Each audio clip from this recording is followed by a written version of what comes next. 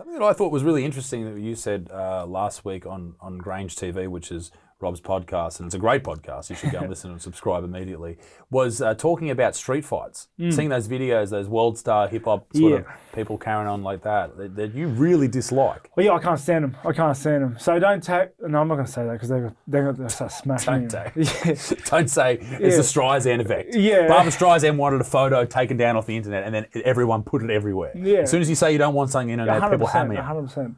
Or because I've we've gone this far with it, I'm already done. Gone. It's all over.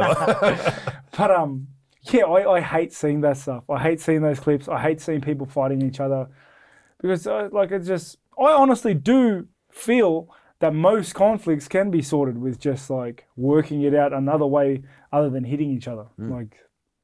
And, and I see it as so so so stupid unless you're defending yourself. You know, given given proper reasons. Like if you're defending yourself or your loved ones from harm, you got to you got to do what you got to do. someone's That's- coming after you. You need to that's a different situation. Like, if you're beefing because one dude called you something and you can't handle that, and like, it doesn't make sense. It doesn't make sense. Like, you're just hurting each other. You see it all the time, though. and it, I don't understand it because, like, I make a living out of this. Like, if you're not getting paid for it, Why why? would you do it? you, what would you do? It's like an electrician just going to someone's house and just wiring up their house for free. Being like, no worries, mate, it's on me.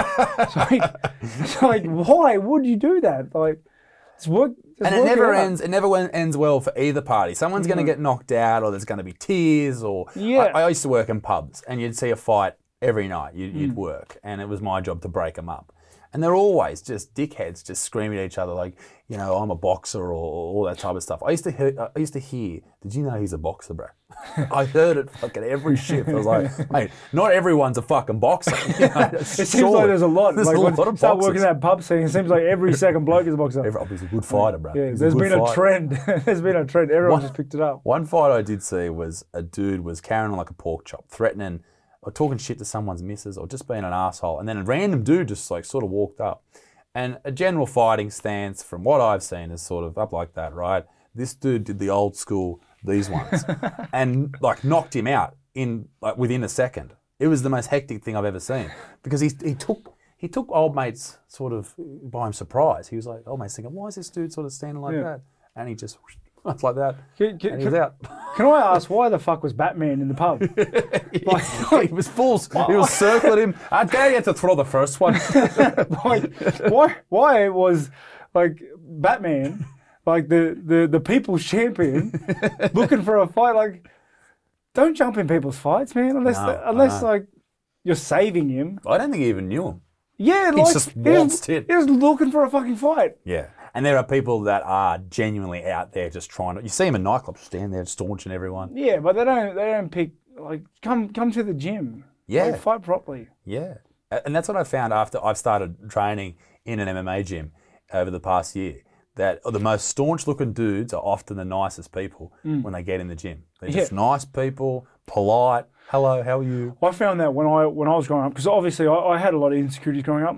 Grew up quite poor, so that had its own sort of stuff. Um, but through MMA and competing in, in combat sports and, and, and going down that path, I've found that you don't need, like, I don't, like, I, I really started feeling secure in who I am and who I was. And I didn't have a chip on my shoulder anymore. Like, uh, yeah, it's humbling when you get picked up and dumped on your head. Like, like you, it's just it just is a humbling Sure. thing to happen. You know, you realize, you know what, I'm not always going to be top dog, and I'm cool with that. You have to be. Yeah, You have to be within yourself. there's always someone bigger than you. And that's it's a lesson not just for fighting or not mm. just sport, but for life. Yeah, Like at some point, something's going to happen. You're going to be dumped on your head, and it's how you react to it. Do you go into a shell, or do you go, okay, how do I avoid hap- that happening again? yeah, You know, and, and I, I guess that's the thing for a lot of young people to hear. And we were talking about this before. Like, if I ever have daughters, I want them to be involved in mixed martial arts in some way, whether it's just you know some slight kickboxing or, or whatever, where they're hitting pads or hitting bags, or just jujitsu. I, I found that jiu-jitsu was an amazing thing for me, not only for just you know normal health and, and, and training when I'm not away on the road. It's a good way to learn a lot about yourself. I, I, I remember having almost this epiphany driving home from the gym one day, uh, Warrior World Gym in Newcastle, fucking good on you.